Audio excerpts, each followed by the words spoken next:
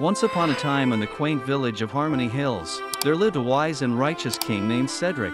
His kingdom flourished with joy, as the people of the village lived in harmony and peace.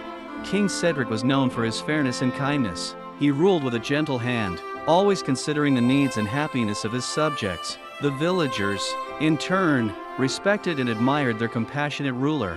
One day, a group of mischievous trolls decided to disturb the tranquility of Harmony Hills. They sneaked into the village, causing mischief and chaos. The villagers were frightened, and their joy began to fade. King Cedric, hearing of the trouble, decided to address the issue with wisdom rather than force. He called a meeting with the trolls and listened to their grievances. Understanding their concerns, the king worked with the trolls to find a compromise that benefited both them and the villagers. Through his just and compassionate leadership, King Cedric not only resolved the conflict but also taught the trolls the value of cooperation. The once mischievous trolls became friends with the villagers, and Harmony Hills became an even more magical place.